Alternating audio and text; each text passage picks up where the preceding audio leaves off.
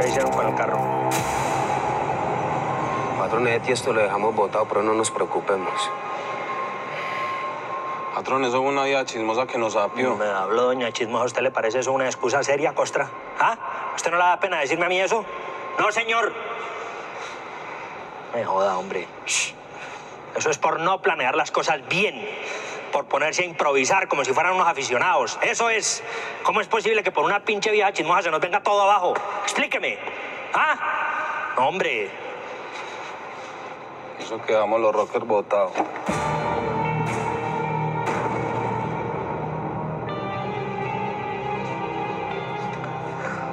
¿Qué? Que se nos perdieron los rockets.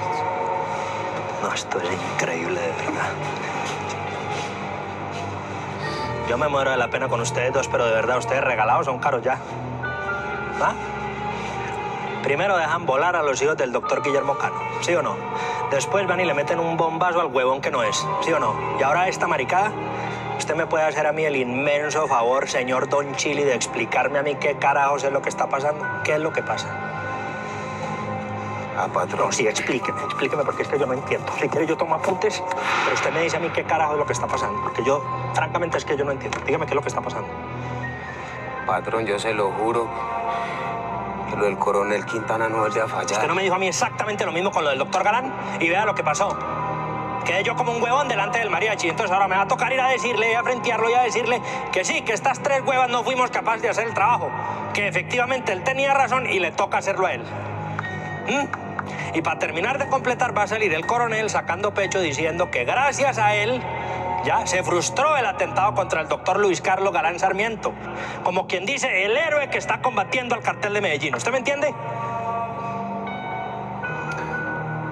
No, patrón, usted me conoce, usted sabe que yo pocas veces le fallo, señor. Que para han sido es meros No me accidentes, joda señor. con los accidentes, hombre. A usted todo se le volvió un berraco accidente en la vida. Todo es un berraco accidente. Todo lo que nos pasa.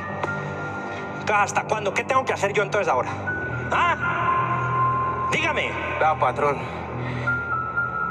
Yo lo juro por la Virgencita María Auxiliadora, por la Mirellita. Se lo juro por mi madrecita que está en el cielo, patrón. Ese coronel Quintana no se salva porque no se salva, patrón. Se muere porque se muere. ¿Mm? Eso ya lo tengo milimétricamente calculado, patrón, créame. Vuélvala a cagar. Quiero verlo volverla a cagar. Usted también. Cáguenla.